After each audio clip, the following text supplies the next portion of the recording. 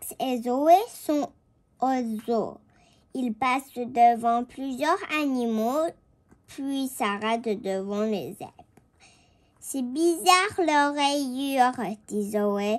Et ce gros lézard demande-t-elle de plus loin. Comment s'appelle-t-il? C'est un varan, dit Max, et il va te croquer.